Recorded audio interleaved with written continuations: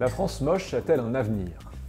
Chacun, bien sûr, aura pris la précaution de mettre des guillemets à cette expression péjorative qui a eu son succès médiatique dans les années 2010 et qui désigne cette France périurbaine, héritière d'un urbanisme extensif des années 80. Alors aujourd'hui, on s'intéresse aux zones commerciales périphériques que le gouvernement souhaite transformer. De quoi parle-t-on? 1500 zones euh, qui représentent 2,7% euh, du territoire artificialisé français, lui-même étant à peu près aux alentours de 8,9% du territoire national.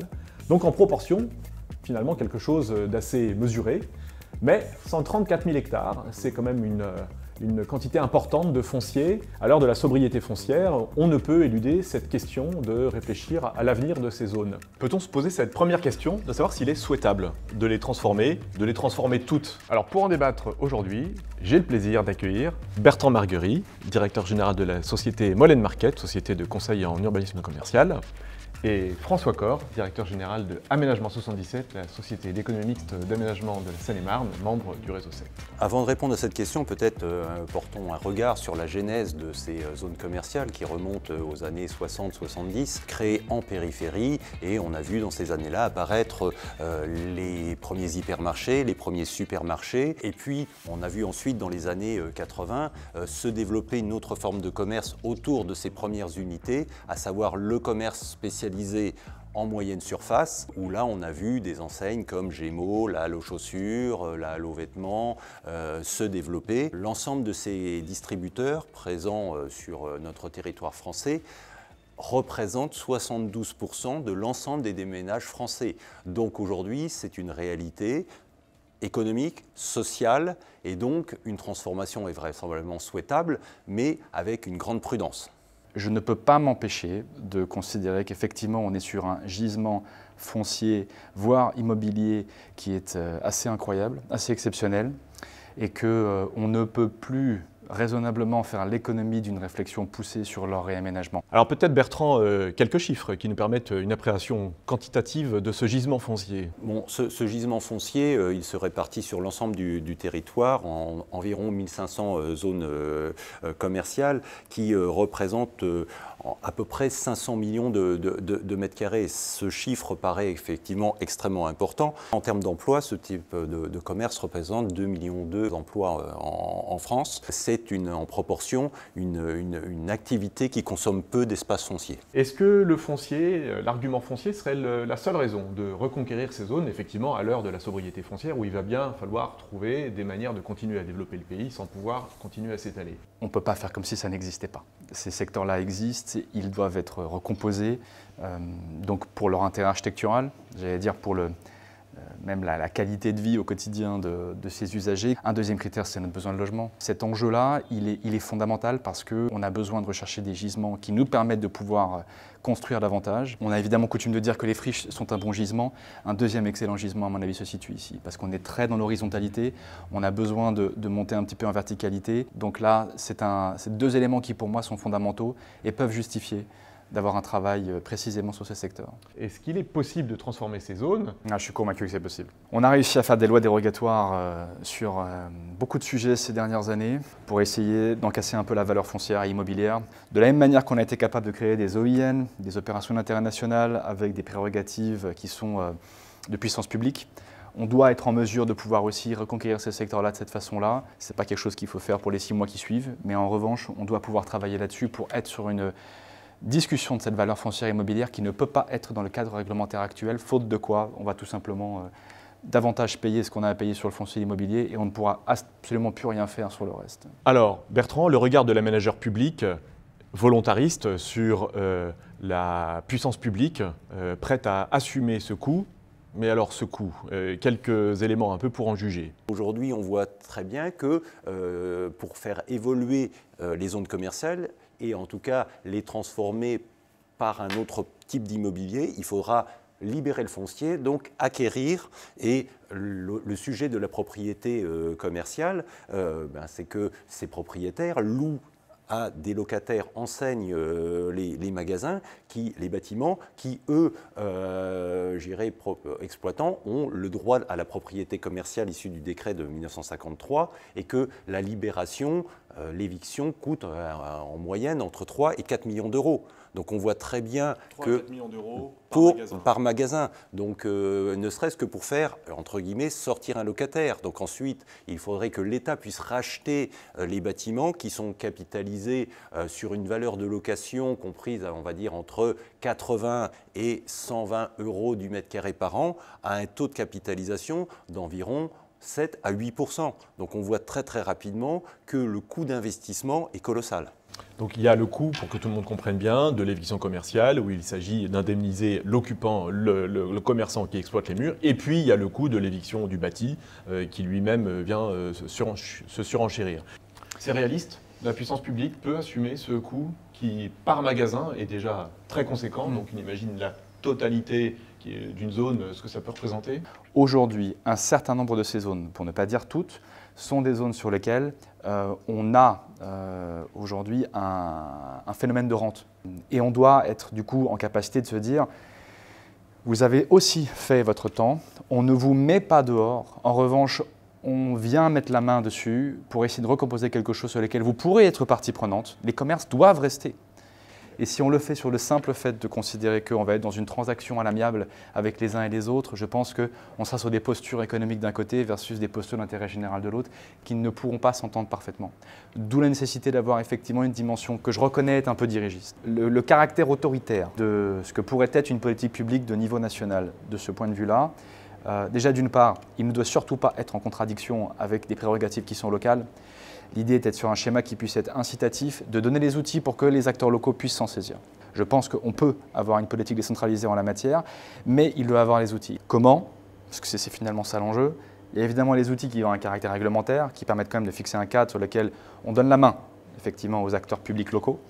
Et derrière, je pense qu'il faut avoir et assumer l'intelligence de se dire c'est un outil, certes, mais rien ne peut se faire de façon intelligente si on n'associe pas pleinement les opérateurs privés, qui vont devoir assumer une claque, j'en conviens, mais sur lequel on peut construire quelque chose qui permettrait, dans le temps, d'organiser les conditions de la mutation de ces secteurs, dans lesquels je pense que euh, leur intérêt ne sera pas forcément totalement mis à mal. Il nous faut le temps de l'appropriation collective et d'une association, y compris contractuelle, entre les opérateurs locaux, éventuellement les représentants de l'État locaux, et les opérateurs privés. Alors Bertrand, euh, on entend parler d'une volonté euh, publique forte, euh, peut-être de bousculer un peu la structure de propriété, euh, propriété privée hein, du, euh, du fond et des murs de ces zones, euh, peut-être aussi euh, d'une contribution euh, à attendre de la part des opérateurs. Alors qu'en est-il le point de vue de l'opérateur un peu sur, euh, sur ce coût et sur euh, euh, ce coût à assumer pour la transformation des zones? Alors le coût euh, pour l'État serait astronomique et je pense qu'il n'y a pas besoin d'intervention publique. On peut citer aujourd'hui euh, une opération euh, en cours de développement sur Nantes, euh, sur le site du Leclerc de Paris 10, où euh, vont être construits à la place euh, du parking qui est euh, au niveau du, sol euh, et qui va être mis en infrastructure, libérant l'espace euh, du rez-de-chaussée pour construire euh, des immeubles avec du commerce en, en- en pied d'immeuble et 350 logements et des bureaux en superstructure. Donc, euh, dans le cadre d'un développement de, cette ville, réalisé euh, par la seule volonté des opérateurs privés. La Loisanne va, pousser les opérateurs euh, de l'immobilier à non plus conquérir des territoires naturels, mais à trouver de l'espace à bâtir sur des fonciers déjà urbanisés. Et donc, les zones commerciales pourront devenir ces, ces- ces nouveaux espaces. Mais tout ça sera possible à partir du moment où bah, les marchés immobiliers euh, auront la capacité de porter le, financement de telles opérations de libération du foncier. Non, non, je ne pense pas que à ce stade, nous puissions laisser le marché pour un exemple, 20 contre-exemples. En tout cas, c'est vraiment comme ça que je le perçois. Euh, c'est dans un premier temps de pouvoir faire en sorte qu'on aille chercher absolument toutes les captations de valeur possibles sur toute la chaîne. Et il faut qu'on arrive à travailler dans des logiques associatives complètes. Donc j'entends par là euh, des capacités à pouvoir être dans des sociétés communes, publiques, privées, à pouvoir porter des sujets qui mêlent à des apports de foncier avec des apports de capitaux, des capacités à travailler dans le temps. Et en fait, c'est cette, euh, cette ingénierie de projet qui est complète et qui est complexe, qui pour moi ne peut pas être portée ou initiée du moins par autre chose ou par qui que ce soit d'autre que du public. Vous avez la valeur foncière, vous avez la valeur de l'aménagement produite, vous avez la valeur relative à l'immobilier en tant que tel, donc j'entends par là la promotion immobilière, et puis vous avez la valeur de l'éventuel investisseur qui lui va être sur des bilans qui vont être de 12, 15, 18 ans, voire plus. Et cette logique euh, d'amortissement dans le temps et de captation de valeur sur toute la chaîne, elle est fondamentale. C'est réaliste, c'est souhaitable, c'est possible? Aujourd'hui, ça ne me paraît pas possible. Dans la mesure où, comme euh, il a été évoqué, euh, il n'y a que 6% de vacances, donc de locaux vides dans ces zones commerciales, et que sur des loyers à compris entre 80 et 120 euros par mètre carré par an, euh, on a une valeur capitalisée à hauteur de 7%. On a aujourd'hui encore trop de valeur pour qu'on puisse trouver un modèle économique, pour moi, permettant de racheter l'existant pour en faire un foncier accessible pour euh, un autre type d'immobilier. Comment est-ce que euh, la puissance publique ferait pour aller capter la valeur à ces différents maillons de la chaîne? Si on reprend un peu cette frise de la chaîne de valeur, on a ces métiers qui chacun se succèdent les uns après les autres classiquement. Et euh, ces différents métiers, chacun appelle à euh, la création de valeur qui permettent à ces différents métiers de façon individuelle de pouvoir exister et de pouvoir fonctionner.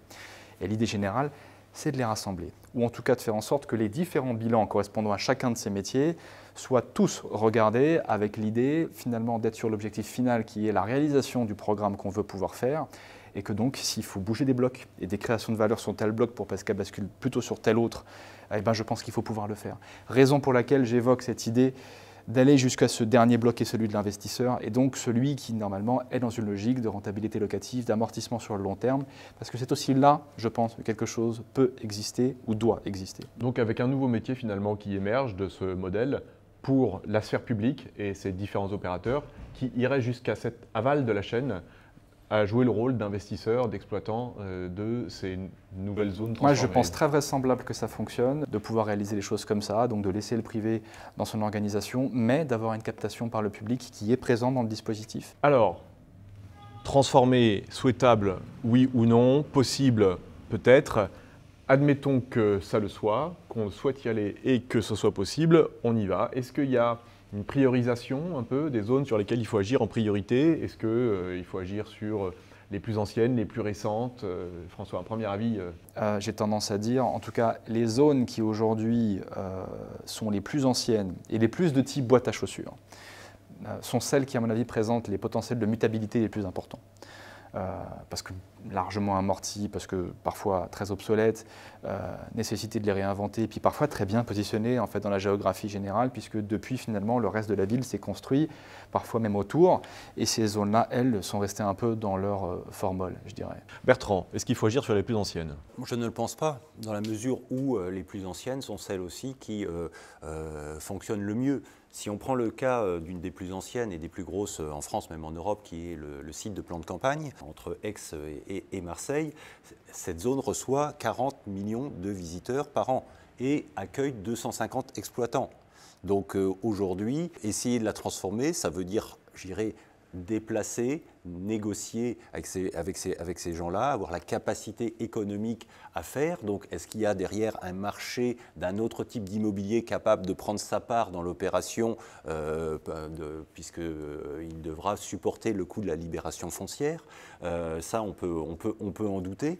Euh, et d'autre part, il faut aussi pas méconnaître le rôle social, entre guillemets, même si le terme est un peu pompeux, de ces zones, puisque ces zones commerciales, elles accueillent bien sûr du commerce, mais aussi des cinémas, de la restauration, et qu'elles sont un lieu de promenade, euh, au-delà d'être simplement un lieu où les gens viennent euh, trouver une réponse à un besoin primaire. Donc euh, donc c'est vrai qu'il y a une grande prudence dans, dans les projets à faire quelque chose qui demain aussi fonctionnera par rapport aux attentes des consommateurs et de la population française. Je pense que la France moche, euh, qui est un terme, je trouve, un petit peu euh, très dur pour, le commerce ou pour ce profil de commerce, correspond quand même à une, réalité purement esthétique. Et là, en la matière, euh, on doit faire évoluer les choses sur l'architecture, sur l'entretien des bâtiments et aussi sur euh, une intégration du végétal dans ces zones qui, historiquement, en étaient vraiment dépourvues.